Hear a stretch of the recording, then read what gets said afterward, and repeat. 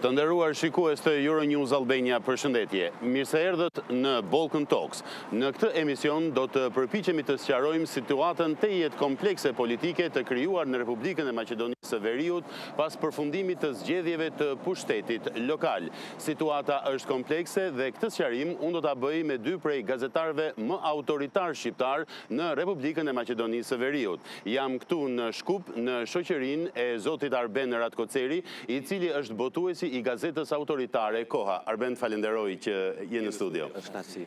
Faleminderit. E prisje një tërmet të tillë politik? Realisht, është prit rezultati aktual, me një dallim që nuk kemi besu që dallimet do t'jenë aq t'mdhaja, nëse merr kampin politik maqedonas, është një debakël i kryeministrit aktual dhe partisë të tij, zotit Zaev, ndërsa nëse merr pjesën shqiptare, dy veçori do i kësha përmend këtu, humbjen e dy kryeqendrave kryesore nga ana e Bashkimit Demokratik për Integrim, Tetovën dhe Gostivarin, edhe atë me një rezultat dhe distancë të thellë. Si edhe veçoria e dytë, betejat ku kishte Bashkimi Demokratik për Integrim me Lidhjen Socialdemokrate të Maqedonisë si dy më kryesoret në dy komuna rurale, Haraçinin e Shkupit dhe Dollnenin e Prilepit, ku BDI arriti që t'i rikthen dhe t'i fiton. Unë jam gjithashtu në shoqërinë e kolegut tim të respektuar, gazetarit dhe moderatorit të njohur televiziv, Nazim Rashidi. Nazim, të falenderoj. Faleminderit, Franko, gjithmonë kënaqësi. Nazim, zgjedhjet lokale që u shndërruan pa dashje apo me dashje në zgjedhje politike, zgjedhje parlamentare? Me të drejtë është konstatimi, sepse ndoshta në kontekste të tjera nuk do të duheshte të sjellin këtë tërmet të madh politik, por Duke marrë parasysh zhvillimet këtu që kanë të bëjnë me Maqedoninë e Veriut, me politikën e jashtme, me Bashkimin Europian, sidomos marrëdhëniet me Bullgarinë, vendime të guximshme që i bëri qeveria e kaluar, sidomos Kryeministri Zaev, Si një politikan atipik, në fakt sollën kosto edhe në kontekst lokal.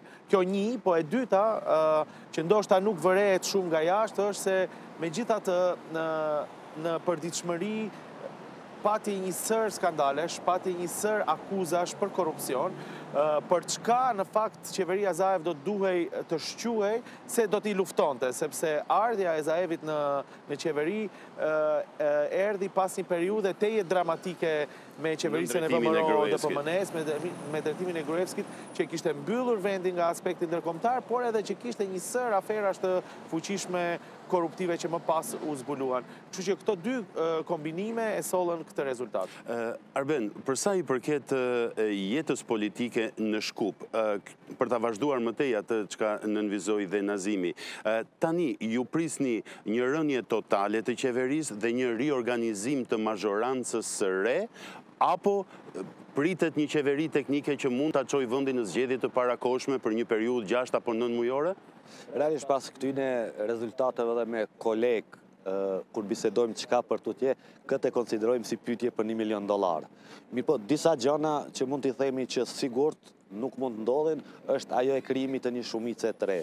Pra, pa shku përmes një procesi të zgjedhjeve të parakohshme, nuk besoj që mund të vjen, që nuk do të vjen edhe nuk ka ardh në Maqedoni. Ka pas kriza të natyrave të ndryshme, që nga nandhjeta edhe tjera, mirëpo këto situata janë zgjidhë përmes procesit të zgjedhjeve të parakohshme ku fituesi dihet, se ky rezultat mund të jetë lart-poshtë, pavarësisht edhe distancës që mund të jetë. Ajo që diskutohet, Ndoshta edhe më shumë që është dëshirore e një pjesë, si të thush, e botës akademike, intelektuale, qoftë te shqiptarët dhe te, te maqedonas, maqedonasit është mundësia e formimit të një qeverie ekspertësh për, për mbylljen e dy tri temave shumë kruciale të vendit dhe pastaj të shkohet në zgjedhjet e parakohshme, pra një qeveri tematike do kisha qujtë, mos harrojmë pritet fazë e re edhe veç kanë fillu numrat e rritjes së numrit të pandemisë, a Maqedonia ka kalu goxha shumë keq, çështja energjetike dhe mbi gjitha kontesti shumë i madh me Bullgarinë. Dhe këtë kontest një parti e vetme maqedonase, siç e bëri zoti Zaev me Greqinë që mbylli një kontest, është e pamundur në konstelacionet aktuale të krijuara në Maqedoni ta mbyll këtë temë. Pra, pa një bashkëqeverisje, si thush, ose pa një koordinim mes dy partive kryesore maqedonase, shumë është problematike të mbyllet kjo temë. Nazim, nga njëra anë kryeministri Zaev, i cili vendosi një tjetër standard duke pranuar dorëheqjen dhe e rikonfirmuar atë çka tha vetëm pak ditë më parë, kryeministri Zaev thotë unë do të bëj gjithçka që kjo mazhorancë të vazhdojë, ndërkohë që nga ana tjetër lideri i opozitës, Mickoski, nënvizon që atë pak a shumë çka tha dhe Arbeni, që është mirë që të shkojmë në zgjedhje të parakohshme parlamentare që të testohet vlera reale e secilës parti.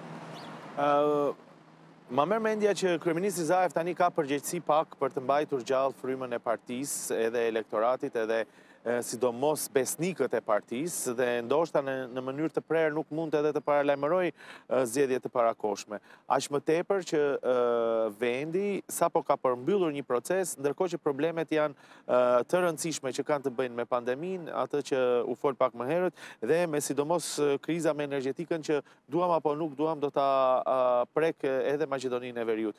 Kështu që ndoshta kjo është ajo retorikë e cilën ai mundohet të japë një një sinjal elektoratit të tij që nuk është gjithçka e mbaruar.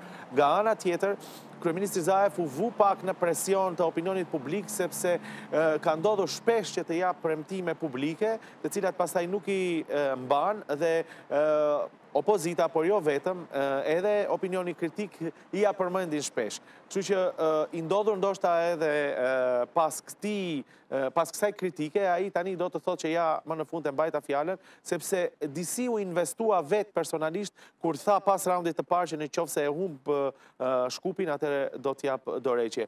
Është dhe ky element, nga ana tjetër, opozita pavarësisht që thotë se do ta marrë pushtetin, duke i ditur këto probleme dhe vështirësi, mund të vëmë re në ditët në vijim një lloj tkurrjeje dhe tërheqjeje të entuziazmit, për mos të qenë ballë mhm. problemeve të vështira, sepse në qoftë se shfaqet ashtu siç po përflitet problemi me situatën energjetike, vendi do të hyjë edhe në krizë të thellë ekonomike, Dhe asnjë forcë politike nuk do dojë që ta ketë atë përgjegjësi. Pikërisht, asnjë forcë politike nuk do dojë t'i bëjë ballë menjëherë, sepse entuziasmi dhe pritshmëritë do t'jenë uh, të mëdha.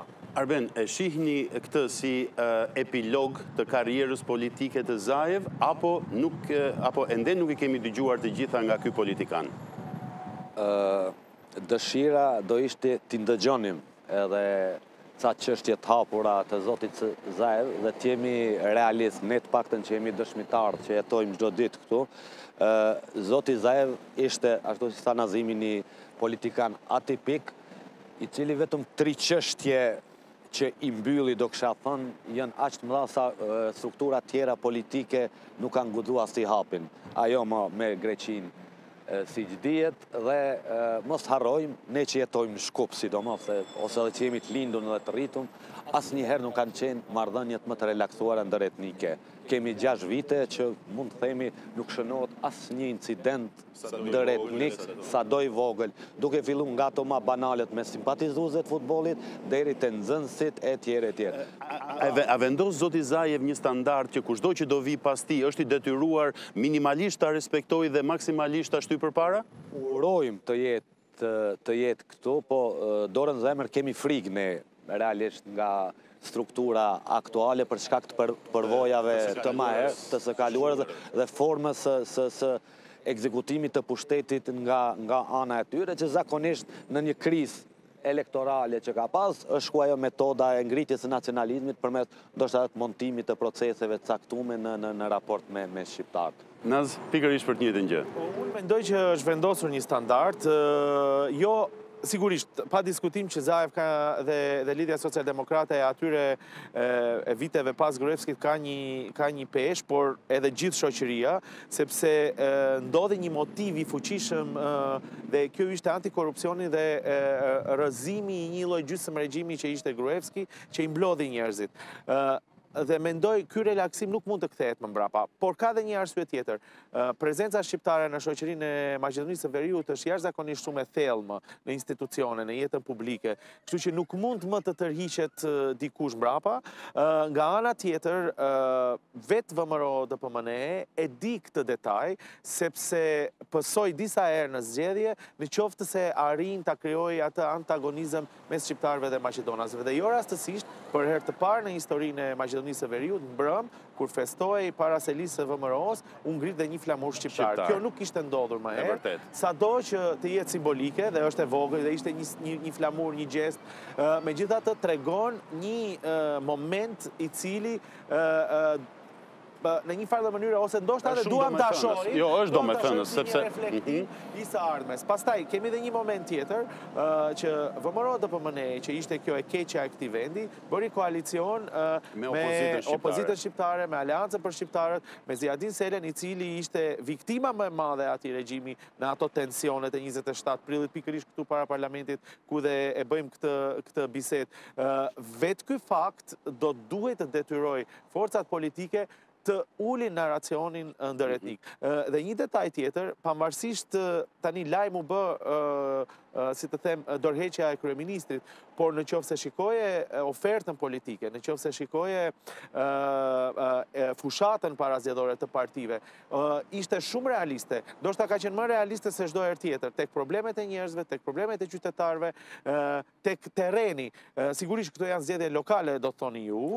Dhe në këtë kontekst, në këtë kontekst do të ishte normale, por për Maqedoninë e Veriut elementi etnik gjithmonë ka dominuar kësaj radhe, për shkak të numrit të votave, për shkak të mënyrës së votimit dhe balancave në qytete të ndryshme, edhe subjektet shqiptare nuk i mëshonin elementit etnik. por sidomos jo subjektet politike maqedonase. Shiko Franko, këtu ne themi fitoi VMRO-ja, por ata nxorën një figurë qytetare që thanë që është nga sektori civil, pavarësisht lidhjeve të saj me me qeverisjen e kaluar, një ekonomiste, një grua, e cila rreth të cilës u mblodhën subjekte politike. Pra nuk ishte komplet VMRO, që në një farë mënyre zbut të gjithë... E relaksoi të gjithë ambientin. Po, gjithë këtë kontekst etnik. Arben, më mirë se ty askush nuk i përgjigjet kësaj pyetje. Në kampin shqiptar kam përshtypjen se deklaratat ishin që fituam të gjithë. Po dhe forma, realisht edhe forma e zgjedhjeve vendore është asisoj që Sidomos i kënaq të gjithë dhe çdokush i analizon ose i publikon ato që që që i pëlqejnë. Realisht nëse marrim në numra totale, shihet që Bashkimi Demokratik për Integrim është një fitues, do kisha thënë edhe absolut, mbas numrave ku kryesisht matet lista e këshilltarëve ku është 100.000 vota, 106 125.000, po mu më duket diku 105.000 deri 110.000. sepse i numërojnë dy herë për shembull votat për qytetin e Shkupit dhe komunën e Shkupit. Në ndërkohë, edhe tani nuk e dimë Lëvizjen Besa ta quajmë opozitë apo jo, po megjithatë, meqenëse është, sepse dhe ata nuk janë të qartë, a është parti në pushtet që ka një ministri goxha të fuqishme, Ishte befasia më e madhe e këtyre zgjedhjeve. Fitorja e Zotit Kasami në Tetovë. Fitorja e Zotit Kasami, po dhe marrja dhe një komune tjetër, sado rurale në Zhelinë, që realisht Lëvizja Besa nga një parti që nuk është llogaritë fare, ka marrë aq sa ka marrë koalicioni opozitar, pra Gostivarin dhe komunën e Vrapçishtit, pra dy qytete urbane dhe nga një komunë rurale. Pra kjo do kësha thënë është befasia, Ndërsa, do kisha thënë humbësit, mirëpo shqetësim i madh o realisht rezultati aq i dobët i koalicionit opozitar tek shqiptarët Aleanca me Alternativën, dikund mbërrin te 49.000 vota, 50.000 vota, dhe duket, duket se Paguajtën një çmim të koalicionit me VMRO-DPMNE-n. Mos harrojmë, memoria është e freskët, deri para pesë-gjashtë vite, pikërisht këto parti organizonin nëpër Shkup protesta të mëdha kundër VMRO-DPMNE-së. Dhe tani kjo sikur nuk u pranu, u pa në, në rezultat, sikur nuk u pranu aq sa duhet, ose nuk u arrit nga ana e opozitës të shpjegohet ky koalicion, edhe pse opozita ishte e detyruar ta, ta bënte këtë, këtë koalicion, si është bo çdo herë. Mirëpo, ndoshta ato është dashtë pak ma me marifet, jo në atë formë siç e publikuan, dhe këtu duhet të shihet defekti i këtij rezultati, ndoshta jo të kënaqshëm. Po, Nazi, unë dje kur isha në studion e improvizuar në Tetovë, duke qenë se isha në zemër të Tetovës, erdi zoti Kasami dhe ia bëra pyetjen në mënyrë eksplicite, ju me deputetët tuaj, i përkisni mazhorancës apo i përkisni, do t'i përkisni opozitës? Dhe ai tha, kjo i takon, përgjigje politikani, kjo i takon strukturave të partisë të vendosin, por ai tha, unë jam i bindur që do t'i përkushtohem totalisht Tetovës. Në këtë, ju shihni lojëra të brendshme politike? Tani ka edhe një specifikë tjetër, zoti Kasami në skenën politike, me këtë forcë politike, me katër deputetë erdi duke bërë koalicion me Lidhjen Socialdemokrate, dhe duke qenë pjesë e listave të përbashkëta me Zaevin, me kryeministrin Zaev që është në dorëheqje. Dhe kam përshtypjen për korrektësi do duhet të ketë një koordinim edhe me të, sepse edhe ajo qeverisje, edhe ajo ai bashkëpunim, ai koalicion ishte inovacion për Maqedoninë e Veriut që s'kishte ndodhur më herët që në gara të dalin dy subjekte të përbashkëta me listë të përbashkët, pasi këtu është sistemi proporcional, ka 6 zona dhe të 6 zona nxjerrin nga 20 deputetë, sipas listave që janë të përcaktuara më herët. Dhe kam përshtypjen që nuk do ishte aq e lehtë shkëputja mm. ose ndoshta shkëputje ndodhin në politikë, por ma merr mendja që ka edhe një lloj korrektësie në këto në këto marrëdhënie. Kështu që nga ana tjetër po mbrëm se ne kemi qenë në transmetim të rivonë, eksponentë të tjerë të Lëvizjes Besa, Arianit Xhaferi, më fal, Arianit Hoxha, tha se do duhet të jemi pjesë e qeverisë, ose nuk e bëri të ditur ikjen, shkëputjen aq të lehtë nga mazhoranca aktuale. Kam përshtypjen që gjithçka do të varet nga Lidhja Socialdemokrate, nga kryeministri Zaev, se si do të tentojnë të mbledhin, ose sa do të tentojnë ta mbajnë atë mazhorancë të brishtë me 62 deputetë në parlamentin njëqind e njëzet anëtarësh. Cili është mesazhi që ka marrë zoti Ahmeti nga zgjedhjet e mbrëmshme?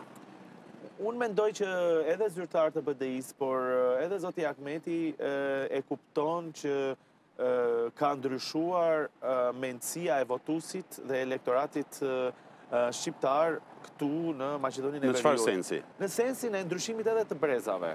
Sepse nëse mosha mesatare e shqiptarëve është te 35 vjeç, një 35 vjeçar nuk reflekton më me narracionin dhe me logjikën politike të para 20 viteve. Të para 20 viteve ka atë antagonizmi që ne e e e Ka dhe një moment tjetër, kur analizohet ndoshta edhe rezultati i opozitës, po jo vetëm i opozitës, po edhe i gjithë ofertës politike. Elektorati ka dënuar individët, ka, ka dënuar ata persona të cilët nuk ishin bindës në fushatën elektorale. Ne për herë të parë ndoshta kemi pasur një fushatë më politike se çdo herë tjetër, me ofertë të pastër, po, me ofertë të pastër të ofertave politike për të treguar se çfarë do të bëjnë në vitet e ardhshme ose për të treguar se çfarë kanë bërë për kohën që kanë qenë në në qeveri. Dhe nëse shikoni disa figura të opozitës, nëse shikoni disa figura të pushtetit që humbën zgjedhjen, realisht ishin figura që opinioni prej moti i kishte vënë në diskutim, mhm. ose këto të rinjtë nuk ishin bindës gjatë fushatës.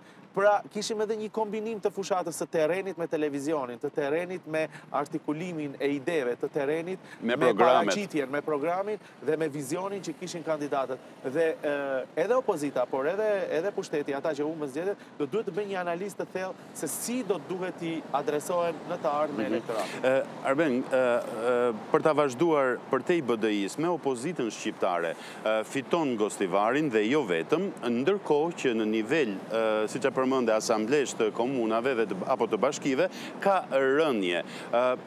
Cili është mesazhi që Zoti Sela dhe Zoti Gashi duhet të marrin pas këtyre zgjedhjeve? Po, mesazhi, mesazhi që kanë marrë, besoj, zoti Sela dhe, dhe zoti Gashi, kryesor është që, sepse nuk ka vetëm ky cikël që humbin zgjedhjet, ka disa cikle që humbin zgjedhjet, sidomos zoti Sela, është se duhet të reformohen.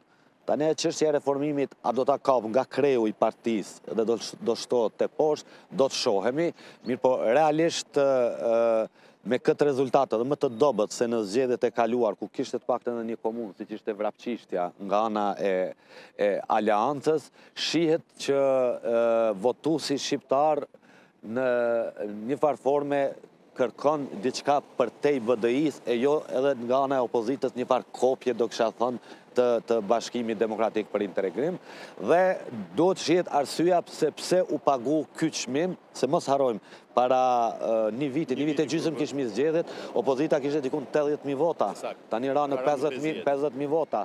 Dhe ajo që e thash edhe ma herët, që duket se duhet të ketë qenë arsyja është çështja e koalicionimit me VMRO-DPMNE-në, të cilën nuk arritën ta spjegojnë sa duhet dhe një farë forme edhe një farë lloj arrogance e këtij koalicionimi. Kur ia bëra këtë pyetje zotit Afrim Gashi në në këtë emision, të cilin diskutojmë së bashku, ai u ai u shpreh, kjo nuk është një marrëveshje, kjo nuk është një kontratë. Është më shumë një një marrëveshje xhentëlmenësh. Po. Ja pikërisht ky është ai konfuzion Franko, sepse nuk mund të nuk mund të bësh koalicion dhe pastaj të fshihesh nga një lloj turpi që ke bërë atë koalicionin ah, ose një lloj mhm. situate që ti s'je i këndshëm. Ose do i qëndrosh ballë një vendimi politik, Dhe është krejt okej, sepse është një vendim që ti e ke marrë si subjekt politik. E ke analizuar dhe je i po, bindur që është i tillë. Edhe ke vendosur për një gjë të tillë dhe ke dalë me një ofertë, ose jo. Se ne nuk mund të luajmë me, me lojë fjalësh. Kjo ishte një koalicion, të cilin uh, ata... Nuk ka gjë të shkruar, më tha zoti po, po ishte uh, një bashkëpunim, u perceptua si një gjë e tillë. Uh, ne mund të luajmë me eufemizma.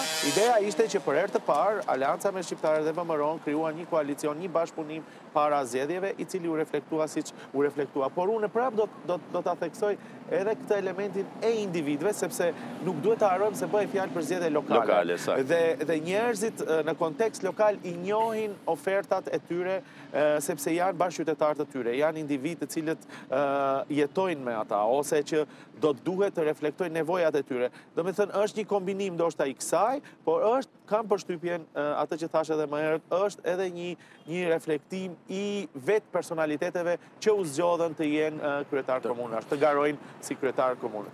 Arben, doja të të pyesja, këto koalicionime që Nazi i analizoi me, me goxha qartësi, ju i shihni si embrione të zgjedhjeve të mundshme lokale, pra koalicion i natyrshëm mes BDI-së dhe LSDM-së nga njëra anë, Apo i aleancës dhe alternativës me VMRO-në. Mund të jenë si koalicione paraelektorale, do thotë për zgjedhjet parlamentare, mirëpo çdo herë edhe qeveria eventuale e ardhshme do të jetë produkt jo vetëm i numrave, por zakonisht është. Po, jo vetëm i numrave, sepse meqenëse janë dy entitete në Maqedoni, kërkohet njëfarë stabiliteti përtej. Se edhe VMRO-ja nuk do të kjo ka ndodhur në zgjedhjet e kaluara, e në fakt të, të parafundit, po. sepse nëse VMRO fiton bindshëm, po flasim gjithnjë në mënyrë hipotetike, në pjesën maqedonase, e njëjta mund nëse reflektohet tek shqiptarët, për shembull, te BDI-ja, pavarësisht preferencës që mund të ketë me opozitën, është e pamundur të krijohet një qeveri, një qeveri stabile. Sepse të kesh vetëm një pjesë të etnikumit tjetër, nëse diferenca është e madhe, nëse diferenca e vogël, edhe, edhe ndoshta mund të ndodhin përjashtime të tilla, sepse partitë shqiptare këtu manipulojnë pastaj me si të thuash, prodhojnë argumente të caktuara politike, në kuptimin se ne jemi parti tematike, Nuk jemi e orientume, e orientume ideologjikisht, po kemi tema, pasi të mbyllen temat e çështje. Këto ande nga vi. Nazim, unë e di që ti je partizan i, i përtej, përtej etnisë dhe i ideologjisë. Për sa i përket asaj formule të artë që ka patur Maqedonia, nëse mund të shprehem kështu, që e nënvizoi pak dhe Arbeni, partia kryesore politike shqiptare, më e madhja në zgjedhje, bashkëpunon me më të madhen e zgjedhjeve, pavarësisht se cila është ajo. E shikon si në kufi të së kaluarës këtë ligj të artë, rregull të artë apo Unë do të them që kjo u thye disi me, me disa zgjedhje sepse Edhe Lidhja Socialdemokrate nuk është që ishte fituese e qartë e zgjedhjeve të kaluara, por arriti të bëjë një shumicë parlamentare, se Kushtetuta këtu thotë që drejton me qeverinë ai që arrin të marrë 61 vota. Pra, qeveria aktuale ka vetëm 62 vota, ndërkohë që me numra deputetësh mund të interpretohet se kush sa ka për shkak të një koalicioni të madh që bëri Lidhja Socialdemokrate. Unë mendoj që në qoftë se hyet me lista të përbashkëta, siç bëri Lidhja Socialdemokrate me Lëvizjen Besa, pra qytetarët do të votojnë një listë, në të cilën listë do të jetë edhe Ali Ahmeti, edhe Zoran Zaev, për shembull, në mënyrë hipotetike, ndarja pastaj, nëse ata humbin, do të ishte shumë e vështirë, sepse humbja është e përbashkët, fitorja është e po, përbashkët. Ofertën e kanë bërë të tillë dhe anasjelltas. Por Kam përshtypjen që subjektet politike shqiptare nuk do t'i hyjnë kësaj loje me një bashkëpunim kaq të qartë, kaq të fortë, mhm. sepse do duan të lënë hapësira që të jenë pjesë e ekzekutivit dhe mhm. të jenë pjesë e lojës politike më tej. Aq më tepër, ndoshta nuk do ta bëjnë këtë kur duket që Lidhja Socialdemokrate është në rënie dhe kushdo që mund të bëjë koalicion me atë, disi e ka riskun më të madh për të qenë mhm. në humbje. Nga ana tjetër, subjektet politike, sidomos Lëvizja Besa, me këtë ngritje që, që po e merr, do të dojë të dëshmoj vetën se sa është e fuqishme në elektorat vetëm. sepse siç thashë, ajo forcën e morri duke qenë pjesë e listës së përbashkët. Dhe tani me po. Tetovën në shpatulla, po. mund të ndihet shumë më e sigurt. Sigurisht, kurse Aleanca për Shqiptarët, kam përshtypjen që gjithashtu nuk e di sa do të guxonte edhe një herë një bashkëpunim aq të prerë që të jenë në lista të përbashkëta. Kështu që parashikimi im është që do të Të gjitha subjektet do shkojnë më vete në në zgjedhje, nëse ata do të jenë, do do të zhvillohen dhe pastaj gjithë loja politike e ekzekutivit do të zhvillohet pas zgjedhjeve. Je dakord Arben?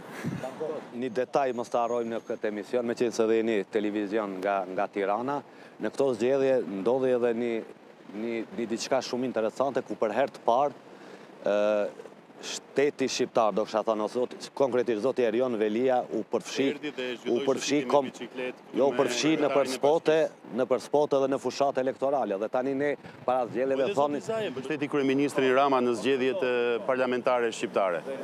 Po do në mënyrë deklarative, po nuk besoj në që janë bo, janë bo me video, janë bo spote. Këtu kishte spote, shëtitje. Okej, Është një risi. Shqipërisë në Maqedoninë e Veriut, ndoshta është më e madhe. Intimisht, mu kjo ka ndodh edhe me zotin Kurti me opozitën, intimisht si shqiptar nuk më pëlqen, sepse nuk e di si do të ndiheshim ne të vjen ndonjë përfaqësues i ndonjë subjekti politik serb të përzihet në këtë formë në pjesën maqedonase ose bullgare e tjerë e tjerë. Po, sido që të jetë, edhe Kjo që e përmenda është në frymën e asaj të krijimit një farë atmosfere më të relaksume mes dy etnikumeve kryesore dhe ata që e përmenda që e ngritët më herët dhe më duket perspektiva e këtij vendit ose siç po shkojnë proceset një t'ardhme ndoshta në këto zgjedhje jo shumë të afërt mund të ketë krijimin e dy blloqeve politike, realisht të përzierë edhe në formë ideologjike.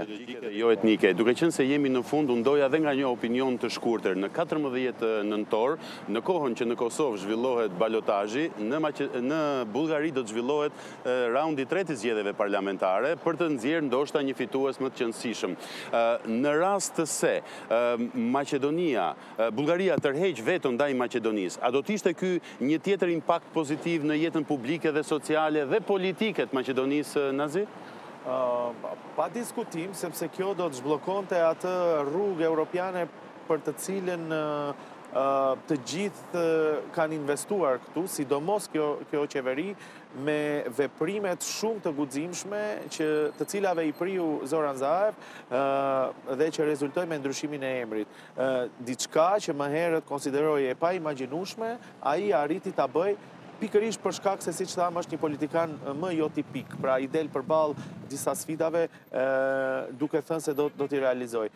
Në këtë kontekst, ndoshta viktimë Lidhja Socialdemokrate është pikërisht sjellja arrogante e, Bashkimit Europian, të cilët, uh, uh, ok, fshehen në një farë lloj mënyre pas vetos bullgare, por në muajt e fundit janë pothuajse inekzistentë, nuk janë prezent në media, disi sigurisht janë të trembur se çfarë deklaratash do të japin, ngaqë edhe ndoshta vetë Bashkimi Europian nuk e ka të qartë se si do të jetë rruga e integrimeve, por kryeministri Zaev është hera e dytë që jep dorëheqje, të merremi vesh dhe herën e parë dha dorëheqje pikërisht se Bashkimi Europian refuzoi t'i hapë negociatat. Po, nuk premtoi atë gjë që...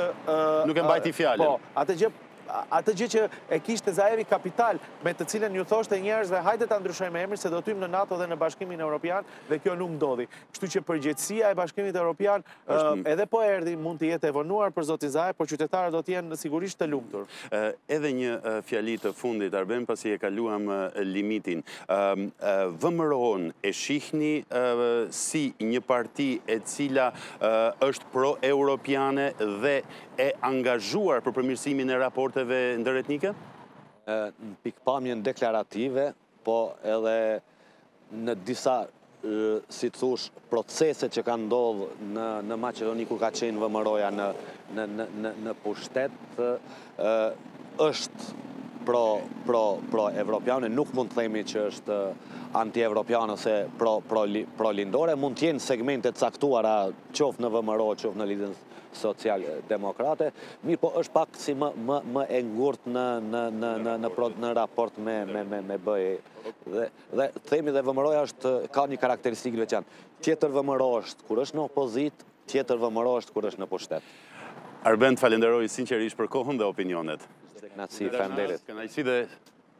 Franko faleminderit gjithmonë kënaqësi. Po. Falënderoj.